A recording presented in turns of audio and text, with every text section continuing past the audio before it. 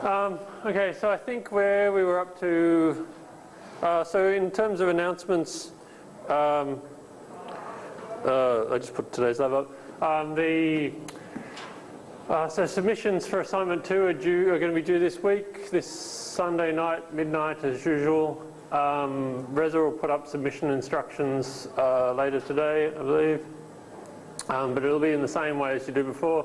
One thing to remember is you do have to submit all of your JavaScripts. Um, I think some people didn't submit some, all of their scripts in the last assignment and we had to check, chase people up. Um, so do make sure you submit everything.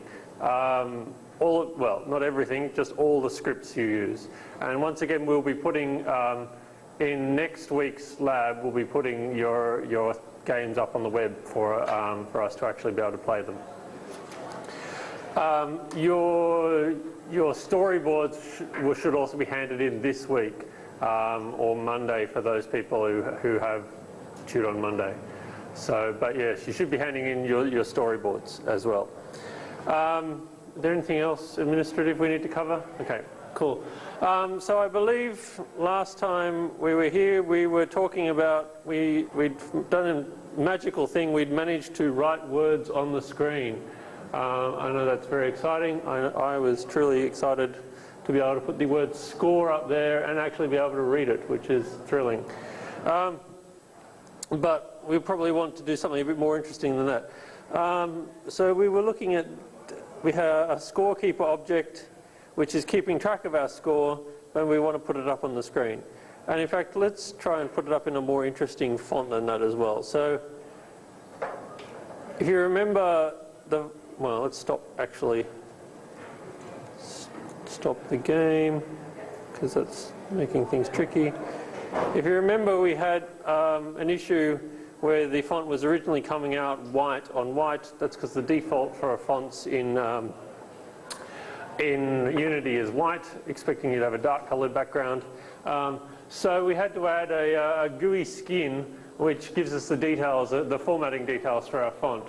And we uh, created we created down here in our project um, this GUI skin object, whoops, not that, this here, a GUI skin object, which um, if we look at it in the inspector, here it is in the inspector, um, has lots of different details for all the different GUI objects that we could encounter.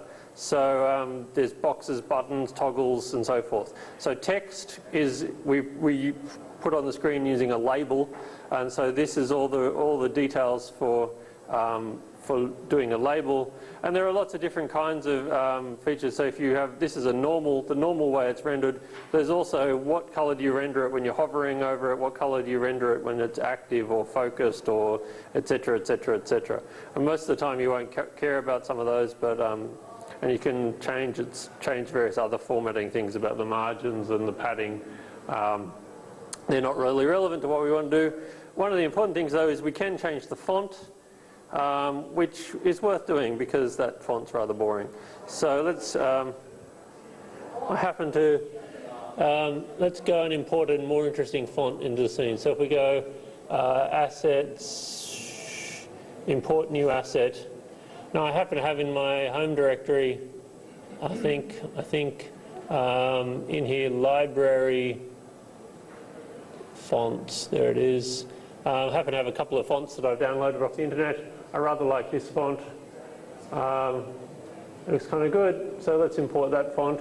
And so just by, by, um, just by going import, import new asset, we can, like we can import models that we downloaded, we can also import fonts that we've downloaded off the web or fonts that we have um, installed in our system um, in the same way. So now that that font is installed as part of our project, we can use that font in our GUI skin by just grabbing the font, and sticking it in here where it asks for what font we want. Now hopefully when we uh, run this, there our score is now presented in a fancier font. Um, now, one of the more frustrating things about Unity is that there's when you import a font, you have to specify exactly what size you want to import it as. So you can't just import a font once and then use it in different sizes in different places in your, in your GUI. You have to import it with a specific size every time. And so when you come here, you can see that we've imported this one with, with font size 16. If we wanted to change that to something bigger, say actually like 48, um, then we have to now apply and it'll reload that font and now that font is, is size 48, I'm hoping. And so now if we uh, run our game there, it is much bigger and far too big because it doesn't actually fit within the box that we specified. But that'll be good. We'll fix that box up. So if we go back to the scorekeeper, remember the scorekeeper had this rectangle, again I'll zoom in on that, scorekeeper had this rectangle which specified where, um, where on the screen we wanted to display the score, and we said just 0, 0, which is the top left corner, but it also has a width and height. The width and height is how big is the, the rectangle in which we're writing this information. And because the word score in our, now that we've made the font bigger, is more than 100 pixels wide, it's, um, it's getting cropped, and so we can't see the whole thing. And so when we come, when we come here, so this is more, this is a, a little 100 pixel by 100 pixel box. It tries to write the word score in there. It gets to the side and actually wraps around and tries to write the E down here, but that goes below the bottom of the box, and so the box is, um, and so it's all cropped. So we need to make that a bit bigger um, we can make that considerably larger. Let's just make it 500. Um, if you're designing this properly, you'd actually spend some time working out what the correct values are for this, um, but I'm just going to uh, pick values that work for the time being. Uh, obviously, a real GUI design is um, a whole bunch more, sorry, a whole bunch more complicated than this. I'm showing you how to actually put stuff on the screen, but to make it look right, well, that's a whole discipline in itself. If you want to do that, we have a we have a third year subject on human-computer interaction, which goes into a lot of that sort of design issues. Um, but I'm not here to teach you that. Um, so we're putting stuff on the screen. That's all I really care about, and it's working. So, but we've only so far got the word score, which is kind of boring. So let's go back to our scorekeeper, and let's print something more interesting here. Now what we want to do is, is print the value of this score variable because this is the variable in which we're keeping track of the player's score. So rather than we remove this, oops, always do that. No, stop that. Yes, I should stretch, but I'm not going to. Um, so rather than print out the word score, what we want to do is print the score variable. Um, now the problem when we do that is if we come down here, Unity gives us an error, and the error says no appropriate version of, of Unity Engine GUI label for argument rect, comma int. So what that means is that the GUI, the label method on GUI expects a rectangle and a string and at the moment we're putting in a rectangle and an int. Um, and so it can't find a version of that method which, will which has an int here. Um, so what we need to do is convert this int into a string. So what I'm going to do is create a new variable score string. Um, and that, that's going to be a string. Is that me? Oops. And we're going to print out the score string. And now somehow we want to set this score string to be a string version of the number that we have in. So I've talked a little bit about strings before as saying the way we represent text. Uh, I've been throwing around these, these pieces of text in inverted commas um, and, and using them as strings in our code. Um, this is probably the first time we've explicitly had a string variable before. So, so a string variable is just like any other variable we can, uh, we can declare it by, by, by the, in the usual manner saying it's a string. We could also just, we could also leave the type out and just say is equal to score and that creates a new string variable with the text string, with the text score in it. And we could use that and that would do exactly the same thing as we just did. In fact, if we go back and run that, hopefully the error will go away. The error goes away, that's good. Don't know what that other error is. Let's hope that's nothing important. Um, and now if we play that, again it writes the word score up there, okay? So it looks, so the, the word score is stored in the score string variable and then, we're, and then we're passing that as our label. And so we're, we're doing the same thing as before. Um, what we can do, converting an int um, into, a, into a string is, um, there isn't really a, a neat way of doing it. The best way of doing it here is to do, is actually by, well, first of all, I'll show you, show you one other thing and then I'll, then I'll do that. So if we do score plus 100, right? So this, my voice is going. If um, when we we can use the plus operator on strings as well as on um, as well as on numbers, but when it's used on a string, it means something different. Um, if we if we use to score plus 100, this means take this string and concatenate this string onto the end of it. So join these two strings together. Um, so in, so in um, if these were ints, this would be, you know, addition. But in strings, it's, it's joining. Um, and so if we join score and 100, um, we'll now see when we run that, whoops, wrong one, zoom out, there we go. When we run that, it writes score 100.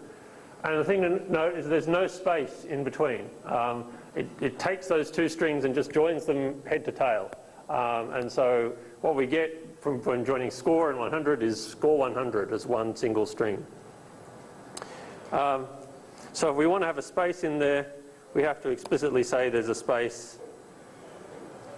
And, well, actually, let's, let's put it there. Let's just, for the sake of it, put a space there.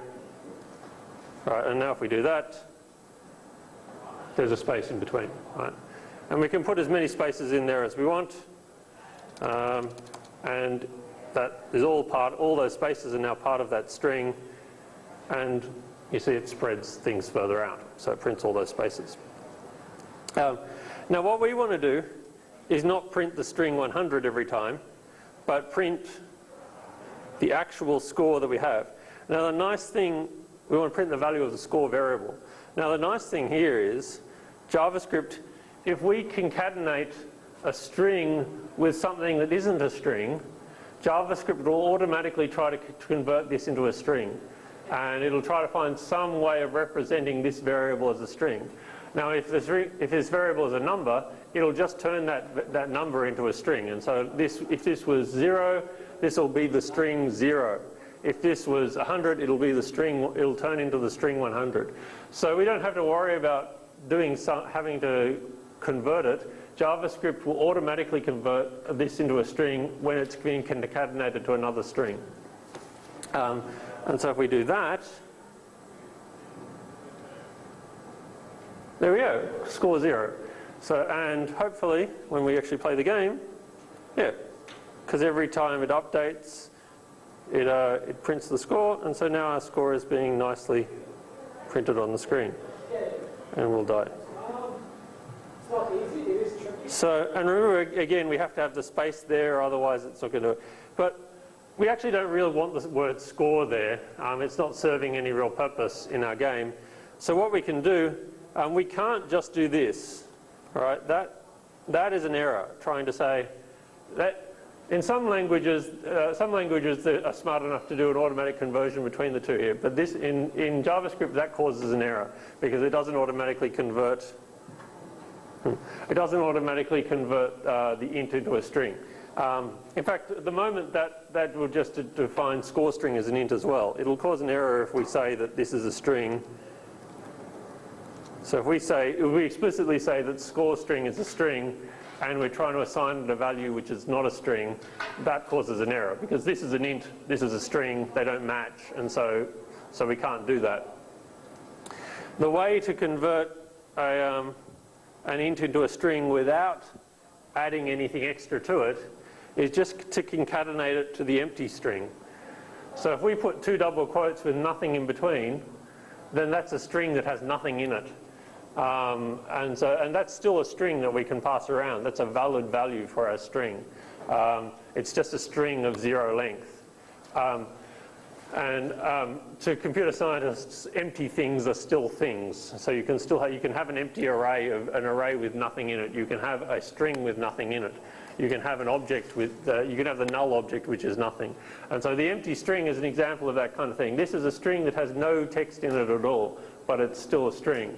If we take that empty string and, and, and join the score onto the end of it, then what, what we get is just the score. There's nothing, uh, there's nothing more in there. So this is a, the easiest way in JavaScript to convert an int into a string, is to concatenate that string with the empty string.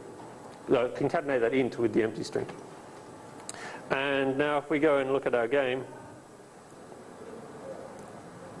there we go. We've got our we've got our score up there, and we don't have anything preceding it because we don't need anything. All right, so we have this have that. Whoops, and we just go and we've died. Never mind. Um, so if I go back to just to make that clear, I'm going to skip down, skip down. No, not that. To where are we? Down here. Here we go strings. There we go. So,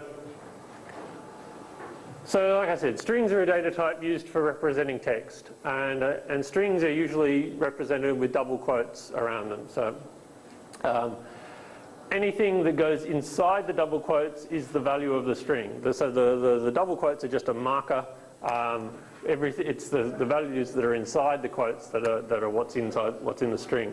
Um, we can declare them like this. We can also declare them with a, with a type if we want. It's capital S string. Um, I think there's also, a, there seems to also be a lowercase s string, but I'm not quite sure what, whether, whether that actually works or not. Capital S string is the one we want. Um, so if we were declaring a field on our, on our thing and we didn't want on an object and we didn't want to be explicit about what the value was, we could just declare it as a capital S string and, um, and have the user fill in or have the fill in the value in the editor. Anyway, so, um, so we can assign it any value. We can also particularly have the empty value, which is two double quotes with nothing inside. Um, now, one, the important thing to remember about strings is that the, the string 30 is not the same as the number 30. Um, they are completely different to the computer. And in fact, internally, they are, they're represented quite differently. Um, this is a string of characters 3, 0, whereas this is the actual number 30. Um, so you can't, they you can convert between them, but you can't actually treat them as the same thing. And in particular, um, concatenation, which I just showed you, um, joining, we can join together two strings to make a third string. And so if we have the strings hello and Malcolm, we can join them together using the plus operator, and this gives us the string hello Malcolm and there's no space in between unless we, there's explicitly a space in one of our strings. Um, otherwise it just joins them head to head. Now the thing to remember is that because these strings and ints are different, 20 plus 7 when they're strings will give us 207. 20 plus 7 when the ints will give us 27, right? Um, and, in and in addition, um, if we actually edit that, I should actually show also that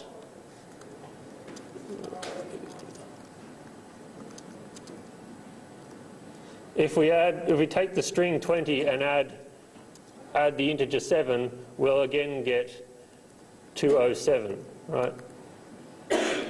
Um, so what happens here is this integer is automatically converted into a string and then the concatenation takes place. So um, it'll always upgrade from, if, you're, if these two things uh, are mixed, it'll always upgrade to a string rather than to an int. So you can't take a string, a, a number in a string and treat it as a number. It isn't a number anymore, it's text. Um, and it's completely different to the computer. Um, so, like I said before, we can convert numbers into strings.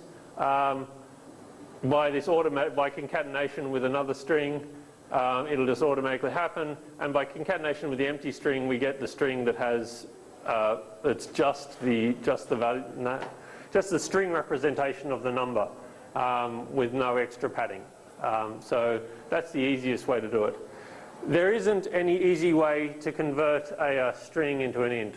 Um, it's possible, um, but the, it, I actually don't know whether there's anything in Unity which will do it. In most other programming languages, there are functions to go in both directions. So if you had a string, um, the string 100 and wanted to work out what it was and it's an integer, um, there'd, be a, there'd be a function to do it. There might be a function in Unity, I haven't seen it anywhere in the API. Maybe if you go exploring in the API, you'll be able to find a function that does it. Um, but you certainly can't do this. You can't assign a string value into an int variable. Um, that will just cause an error in Unity because these because this is an int, this is a string. They don't match, so so that's not allowed. Um, the other thing we'll encounter in strings is sometimes we want there are special characters that represent like the uh, the, the new line at an end of a line or a tab.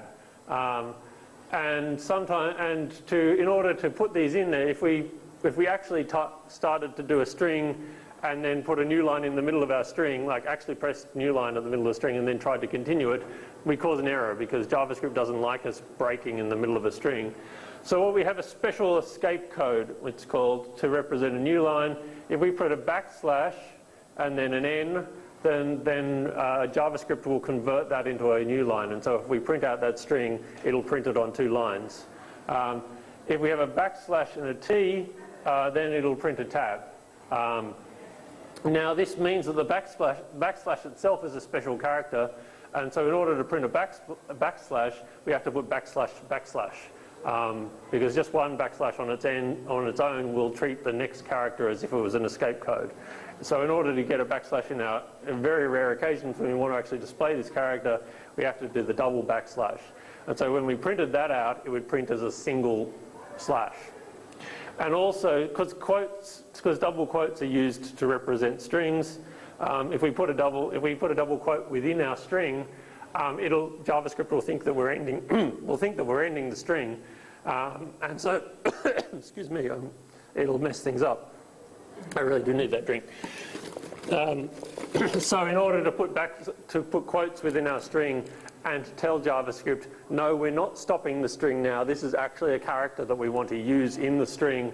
We again have to escape that by putting a backslash before it and then the double quotes. Um, so if you're ever trying to print out uh, a string that contains double quotes, you'll need to use this representation in order to do that. Mm. That's a bit better. All right, so getting back to what we were doing. so we have, um, so that's nice. We have our, um, our score being displayed on the, on the screen as, we, uh, as it updates. Um, so the next step, what were we going to do next? Oh, I was going to add a high score list. Um, so let's do that. How are we going on time? Good, plenty of time. So let's um, let me see where we were up to. If we had ball move, here we go. Okay, so at the end of the game, I want to display, we're going to put a game over message and then, um, and then display a high score list. So the end of the game happens when happens here in, we recognize it happens here in ball move. When we hit the bottom wall, the game's over. We've only got one life in this game. So um, we just, we destroyed the ball. What we're going to do is tell the, I'm going to put a, a game over method on the scorekeeper which tells the scorekeeper that the game's finished. And then the scorekeeper will put up a, a message and the list of high scores. Um, so in order to do this, we need the ball to have some reference to the scorekeeper. So what I'm going to do is we've already got a scorekeeper variable there. Um, the problem is we don't actually have a value for that. Actually, no, we should have a value for that. That's fine. So if we come over to our um, ball, where's the ball? It's attached to the paddle. There it is. Um, so we have, so we need here to refer to the scorekeeper. So we can just, there it is, the scorekeeper. So now the ball knows about the scorekeeper. Now we have to write that, um, that method on the scorekeeper. So if we come back to our scorekeeper, we need to have a function here that does that does whatever is necessary to do when the, when the game's over. So we're going to write a game over function here. So now, when the ball hits the bottom wall, it'll call this function, uh, and this function will do whatever is appropriate to do. Now, what do we? The first thing we probably want to do is to display a um, the the string game over on the screen, right? That would be the normal thing to do. Now, there's a tricky thing here in that all the all the all this GUI display happens in this on GUI method, right? So we can't just come here into game over and print print on the screen. Um, what we've got to do is in game over record the fact that the game is finished. Then when the GUI the GUI event happens, we'll print game over at that time. So the, uh, so JavaScript has, or UnityScript particularly has this event-based programming model, and um, so what we need to do is, is rather than in this function print the message, what this function has to do is record the, record the idea that the game is over. Then later on, when the GUI event happens, the GUI event will show, will show that information. So what we're going to do is add a, um, add a game over Boolean, uh, we don't really need to say that, and it's initially false because the game is not initially over, but when the game is over, it's going to go to true. Right? So now we know that the game is finished. Um, given that that's happened, what we can now do is have in our GUI script, we can display that the game is finished. So if the game is over, then GUI.label uh, game over rectangle, wherever that's going to be, which we'll just define in a minute, game over. Okay. And we need to have a new game over rectangle, which is going to be one of these.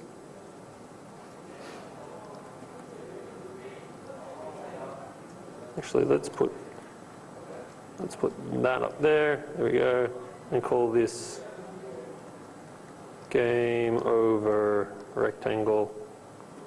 There we go, and I'll just, that looks a bit prettier. There we go. Um, so now we're going to, that should work. And now when we go to our, our back here to our scorekeeper, we have another rectangle here to, so we have the game over field, which is initially false, which is what we want.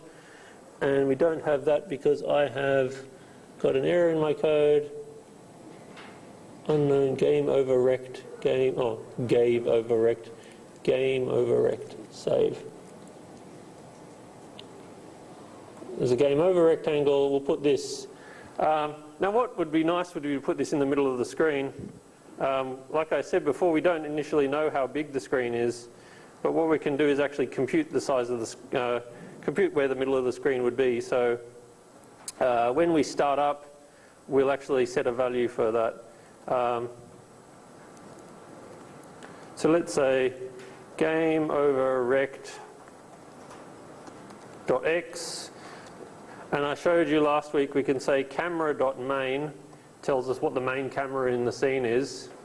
And then the pixel width tells us how wide the screen is in pixels.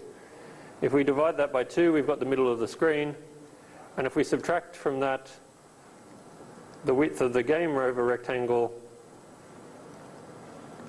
divided by 2. Now we've moved back. I really should bring, no, no, no. Now, oh, I have to hand wave for that one. So we start, we've got a box this big, we want to put it in the middle of the screen, but we want to put the center of the box in the middle of the screen. So we find the middle point of the screen, we take half the width of the box, and we move back by that half width. Somebody keeps pranking me. It's really annoying. Oh, never mind. Um, yeah, we move back by half of that width, and that's the that's the top left the top well the left hand side of the box will go there. Um, you can work that out at home if you did not follow that. My hand wavy. Anyway, I'm going to leave that. I'm going to not calculate the rest. I'm just going to calculate that one. I'm going to put this at 100 and put this the width say to be 200 and the height to be say uh, 80 sounds about right and see whether that works. So we're going to die and so it puts it in the right spot but it's not wide enough so Um, let's try to make that a bit wider. 400. I'm assuming that's the problem. And again, let's die. There it is. And it's not in the middle of the screen, so I don't know what I did wrong. Hmm, what did I do wrong? Oh, I think I know. Hmm, let's see. Probably. Uh, probably what I've done wrong is this. What it's doing is putting Yeah, maybe. Um, what it's doing is drawing a box. It's drawing a box of size 300. I've got it set to 300 at the moment as the width. So there's a box of size 300. That's probably a bit longer than that string. So if we could draw, draw the whole box, it probably become to there. And that box is centered on the screen, but that doesn't mean the text is centered on the screen. So that's slightly annoying. Um, Actually, I think we can fix that. If we go to the GUI skin, we might even be able to say alignment. Here we go. Alignment upper center. There we go. See, fixed. So now the box is in the middle of the screen and the text is in the middle of the box, and so it prints it in the right place. Hey, oh, now it's printing the score in the middle of its box as well, which is wrong. Um, well, you know, can't have everything. So if we go back to there, what was that upper center? That's good. If we go back to wherever the score box was, that was on the scorekeeper. Let's print the score rectangle, not quite that wide. 200. Yep, well, that'll do. Um, so ideally we probably need a different uh, GUI skin for this than for this because at the moment they're being rendered with exactly the same font and the same layout values um, but we probably want this one centered and this one right justified or left justified. I'm not going to go to the trouble of doing that. Okay, so we've got our game over message happening. That's nice. Um, now what we want to do is actually keep a list of high scores. So I'm going to put an array. I'm going to have, not there, I'm going to have it here. var high scores and it's going to be an int array. And I'm going to just correct that. Okay, so now we have on our, we have here, we have our high scores array. And initially it's, it's empty, but I'm going to make it an array of five things. Actually, let's do that over in the code over there. It's probably too late, but let's try it anyway. Let's make this an array of, we're only going to keep five high scores because I can't print more than that on the screen. And unfortunately, because, you, because I modified this before I changed that code, it didn't remember it. But anyway, so we have an array of, uh, that's not the right way of doing that anyway. Oh, sorry, I stuffed that up. Equals new int 5. That's how we create an array, right? So if we, um, sorry, there are, let me go back and show you what I just did in different ways. So if we, if we remove that, disappear. There we go. It's gone from there. If we just say, um, if we just tell the type, tell Unity the type of this is an array of ints. So this, the colon means it's a type, type declaration. The int, it's an int, but it's a, the square brackets means it's an array of ints. Then if we come over to uh, the editor, we'll see that it creates a, it creates that array. Zoom in. It creates that array and initially has, get out of there, has size zero. Um, so, and I can change that to whatever I want. But let's not do that. Instead, let's go back over here and if we, now if we remove that so that Unity forgets about it, go away. And now if we put it back but now say is equal to new int 5, that actually initializes the value. So rather than just declaring it, we're actually giving it a value, um, and that's, an that's a new array of integers, and there are going to be five things in that array. And now if we go back here, it's created that, it's created that array of five integers for us. Now we can still change that value if we wanted to and, and make it an array, a larger or smaller array, but this is a way of giving it a default size. Um, so it's defaulting to five, um, five things in that array. Okay, So let's, let's actually put some default high scores in here because I'm not going to play the game enough times to actually fill this out properly. So I'm just going to put a couple of values in there. There we go. Uh, 50. Okay, 50. Done. All right, so let's imagine that it had been played several times and those are the high scores. Now what we want to do is, well, let's first of all display those high scores. So um, what we can do here is say GUI, uh, we'll do, well now what we'll do is uh, this, we'll create a, uh, a variable high scores, uh, well actually high scores string, which is going to be um, a string. Actually, let's, let's initial, just initialize it to the empty string. So we have a, this is, we're going to be displaying, we're going to be creating another label, uh, GUI.label dot high GUI.label high score string, high score rect, sorry, high scores rect, comma, high scores string. Okay. So, and we need another rectangle for that. So let's put that up here. Uh, do, do, do, do. High scores rect. And we'll also put that in the middle of the screen. So we'll do the same thing we had there. High scores rect. And over here, change this. Oops, not that much. High is rect. Right. So now, again have another rectangle over here. We'll again say the same sort of thing as we did. We'll put it a bit lower than the, than the game over message. So we'll put it at 200. We'll make it about the same width, 300. And we'll make it considerably larger. We'll make it 500 high because we can have several lines in there. Now at the moment that'll do nothing. Uh, in fact, the no, it won't even work because I have a bug. High, where have I misspelled? High scores, there we are, high scores rect. So that's better. So if we go back, play again. Okay, so that, we get our game over.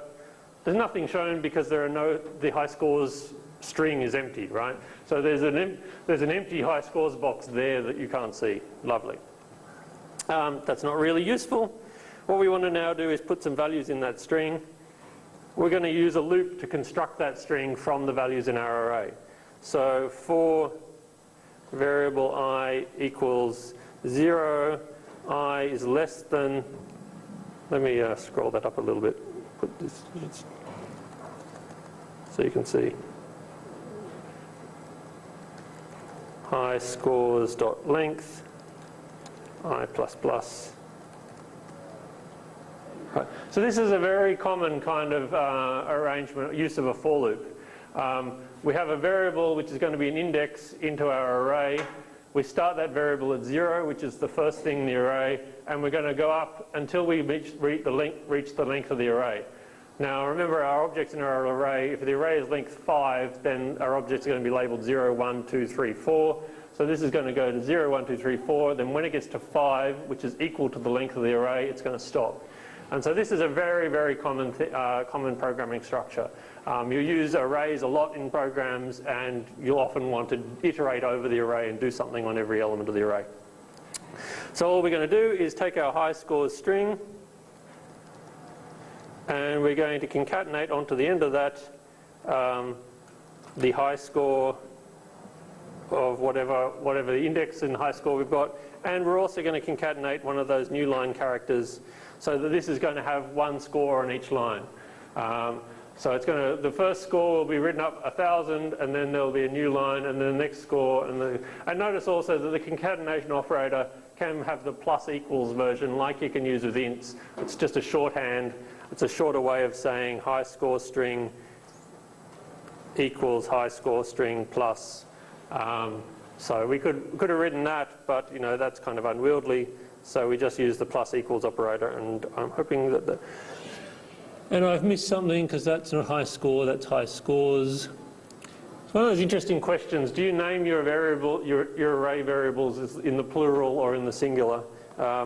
Because the array represents all of the high scores, but often you'll be referring to high score 1, high score 2, and so you kind of want to name them in the singular. I really don't know what is best. But anyway, um, I always get to, always mess it up and get around the wrong way. Okay, so let's see if that works. Yeah, there we go. So there's our list of high scores. All right. Now, that's boring because it doesn't actually add our score to the list. So now this, here comes the interesting bit. What we want to do now is add the score that we've just um, add the score that we've just got to the list of high scores. So, but we've got to work out where in the list it fits, uh, or if it fits on the list at all, right? So what we're going to do is try to first of all work out where the uh, where the the uh, thing belongs. So what we're going to have is a variable rank. Uh, actually, well, let's do it like this. We're going to have to do a for loop because we're going to look at each. What we're going to do is go down the list of high scores and look at each one in turn and work out whether we're in, this is the right place to put it. So we're going to have a variable rank. We're going to start from zero um, and we're going to work up to the end of the list. So rank is less than high scores dot length. So again, one of those kind of iterate through the whole list operations. And now what we're going to say is if our current score is greater than the high score at the rank, high scores rank, then this is where we want to put the score, right? Because we keep going down the list. So if we had the score 500, if the list was 1,600, 400, then we keep going down and say, okay, is five, well actually, I'm going to show you this on a slide, but it's easier to see on a slide than uh, me hand waving, so let's get to there. Um, and what we're going to do is we're going to, this is a new command, break. Um, break is the command that we use to stop a, uh, to stop a loop prematurely. Um, so what will this will do, we'll search down the, the, list and look at the first element and say, no, that element's too small, go, go down the list. But as soon as it finds the right place to put the score, it'll, it'll run this break, which will skip out of the loop. So let me show you what, that, what executing that code looks like. I've got a demo in here. Do to do, I can't remember where it starts. There we are. And we'll get onto buttons later. Okay. So what the, there's that same code. I abbreviated high scores to HS just to save space on the screen. Um, and we've got this situation where we've already got these five scores and our new score is 500. So we need, we're creating, we're trying to find the rank, the, the right variable value for rank to, uh, for the spot to slot it into the list. So what we do, we start with rank zero we, uh, first of all, like any for loop, we check that we're not, we haven't reached the end of the list, and we haven't. And so now we check, is the score, uh, is our current score greater than the score at, at position zero? And no, 500 is not greater than 1,000, so that's not the right place in the list to put the score. So now we go back, we add one to rank, we again check that we haven't gone to the end of the list, and then we look again and we say, is 500 greater than 600? No, it's not. So we go back, we add one to rank, we, um, we check again whether we've finished the list, we haven't finished the list. We now say, is 500 greater than 400? Yes, 500 is greater than 400, so we hit this break statement. And what happens here is that we automatically quit out to the end of the, uh, the, end of the loop. So even though there are more things on our list and we could keep going round and round, um, the break statement is a way of getting out of the list, the loop early. So the break statement can be used to prematurely quit a for or while loop, so either kind.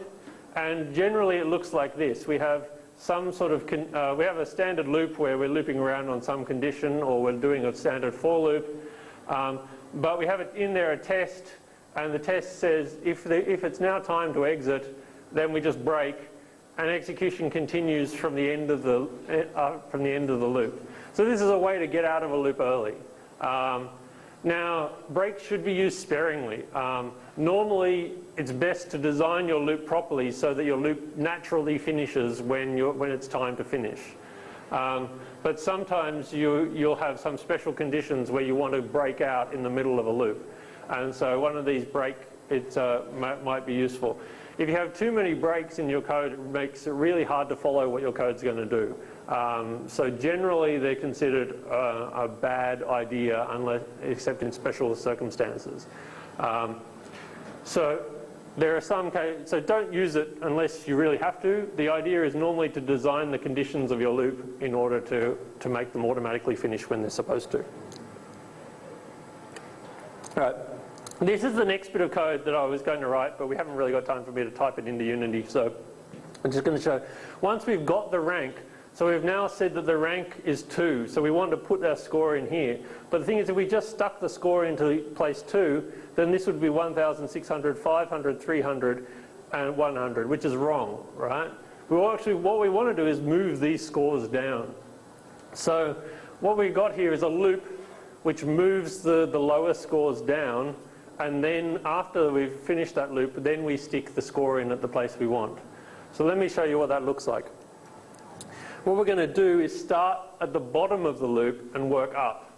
And each, each step we're going to copy down and copy down and copy down until we get to the point where we, don't, where we want to insert our new score. So this is another for loop, but in this case we're actually starting at the bottom and we're going up and we're subtracting every time. So this is a backward, a for loop that's going backwards. Um, so we start at, at 4 and we, and we move the value at 3 at 4 minus 1 to the value at 4. And so the value 300 is copied into here. So we then go back and subtract 1 from i, and now i is, I is, pointing, I is 3, so we're looking at this entry and we check is that is that greater than the rank? Oh, oops. Yeah, that's right. Is that greater than the rank? Yes, 3 is greater than 2, that's fine. And so once again, we copy the value at, the value at 3 is equal to the value at 2. So the value at 3 is equal to the value at 3 minus 1. So we're copying 400 into, into position 3. Now we go around again now i is, whoops, that's the wrong thing. This is meant to be, we're now doing the i minus minus. So i is now set to the value of 2. And if we test whether or not we're still greater than the rank, we're not greater than rank because 2 isn't greater than 2. So we've done everything we want to do. So what we've been trying to do is all the values below the place where we're going to stick the, the new score, we're going to shuffle them down. And the bottom one just get, the bottom value just got lost because we just copied over it. So now we've got, we've moved all these scores down. We're now in a position to stick our new high score in the right position. Um, now what we actually have to do here is check that the rank that we, uh, the rank of the, the score is actually on the, is on the list, right?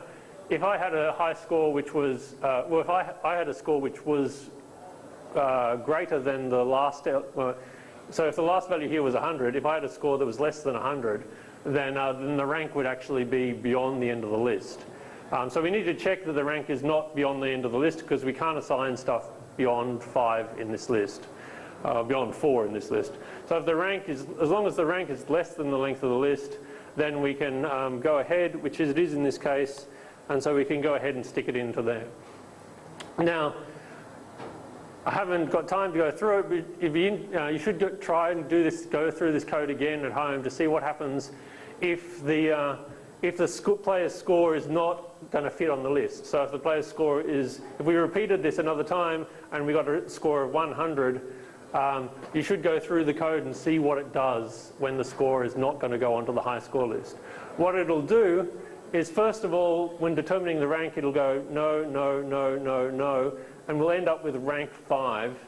And then when we come through this loop, we'll start here with, with the value 4, We'll check whether that value is greater than, than the rank. The rank is also, the rank is 5. So that's going to, this loop's going to quit immediately.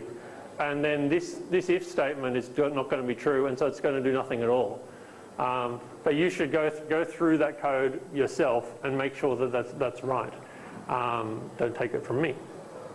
Um, because I get my code wrong all the time, if you've noticed. Um, but that's sort of so this is a kind of a more, bit more complicated in terms of array operations than probably what you've seen before.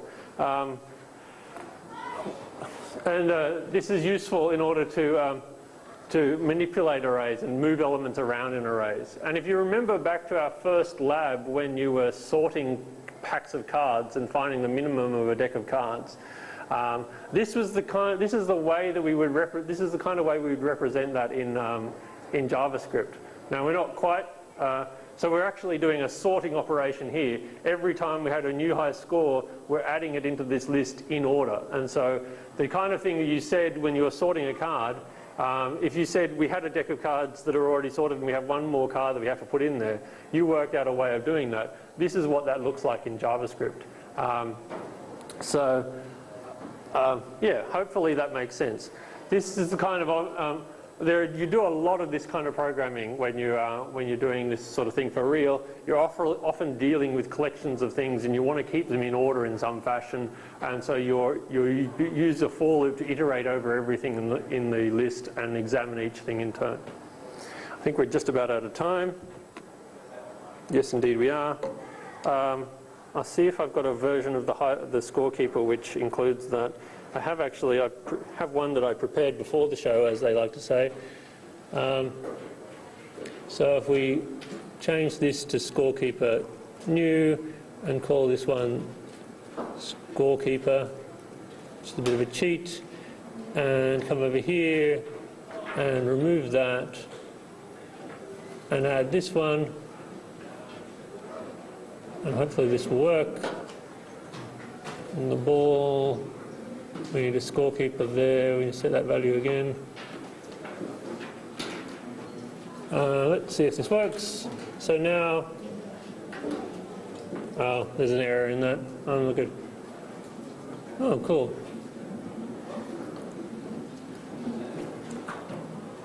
Aha, there's an error in that because I didn't actually check Haha, see there's a, hmm, anyway. I didn't, in the, in the code that I had in the, uh, in the slides, I actually checked whether this rank was on the list. Um, in this code, I didn't check whether the rank was on the list. And so I just tried to put, I got a, a score which was below the end of the list and I tried to put it on the, on the, in the fifth or sixth place on the list and so it died. Um, and so I should actually include here what I had in the other thing, which is if i is less than high scores high scores dot length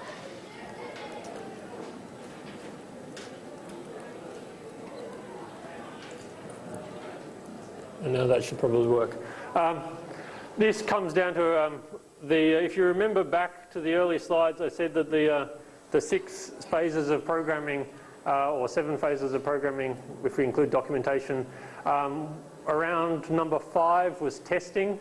Um, it's very important to test your code in all the kind of situations that you're going to encounter.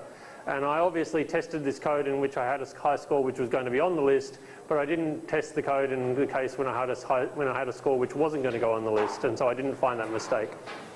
Um, the, uh, it's rigorous testing involves testing every circumstance that might arise in your program um, which is kind of tricky in a game because a lot of things can happen in different ways. But you've got to kind of do the thinking through and work out, well, what happens in my code if I'm in, if, it, if this happens or if that happens, and test to make sure your code works in all those circumstances.